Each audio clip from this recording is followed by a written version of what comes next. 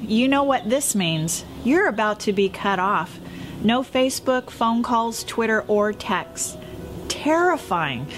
I hate to admit it, but the truth is, I can hardly stand being without connection for even just a handful of minutes. I know that's pretty sad. Even sadder if I were only as vitally connected to God through my day as I am my smartphone. One of the biggest cell phone battery drains is too many apps running in the background, apps we don't even know about. And so it is with sin. If we're not careful, sin runs in the background of our lives, draining our spiritual vitality, watering down our witness, and in some cases, making us spiritually sick. In order to remain fully charged in Christ, we need to regularly be in check for open sin. Julie is a dear friend that I had the privilege of mentoring when she was just starting her walk with God. And one day she barreled into my living room with all this enthusiasm and energy, and she very proudly announced, I have no sin. I said, Really, Julie, no sin? You're sinless. That's right, she said, no sin. Well, once we took that statement apart, I understood what she meant. She meant she didn't have the big sins, you know, those glaring, obvious lifestyle sins that she turned away from when she became a Christian. I think a lot of Christians in lukewarm America make this same rookie mistake. We rank sins. God doesn't.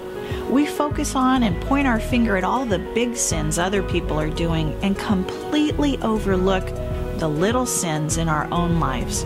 We need to remember that sin is sin, and all of it compromises our connection with God. If we want to maintain that healthy connection and vital union that Jesus describes in John 15 5, we need to pray. Pray giant slaying prayers like David. Search me thoroughly, O God, and know my heart. Try me and know my thoughts, and see if there be any wicked or hurtful way in me and lead me in the way everlasting. If you're like me, you'll find you're prone to certain sins. I've found it helps to keep a short list of those things and review it regularly to keep myself in check. My list includes things like How was I unkind today? How was I fearful? How was I prideful? How was I selfish? How was I unloving? How was I dishonest? How was I preoccupied? Now, when you review your list and you see these things pop up in your day, get rid of them. How? Ask God for His forgiveness, and in God's eyes, the penalty of your sin is gone, as far as the east is from the west. But you might still have some work to do. God may be calling you to the ministry of reconciliation, meaning if you wounded or offended someone, Pick up the phone or go to him or her face to face and make it right.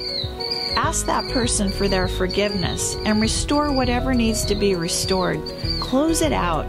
It's hard and it's liberating at the same time. Now, I know what you're thinking, but what about what they did? What they did is between them and God. God wants us to be responsible for our part. Maybe my part was only 20% of the problem. Well, in God's economy, sin is sin, and I need to clean up my 20%. When I clean up my part, I can lay my head down on my pillow at night and sleep like a baby, free and light, fully charged for God's kingdom. Don't let open sin dim your light and don't go it alone. Get connected to someone further along in the faith and ask that person to hold you accountable. We don't do that very much anymore, and we need to. We're told in James 5:16 to confess our sins to one another and pray for one another. Just start today, and you'll be amazed at the difference this will make in your life, not to mention the lives of those around you.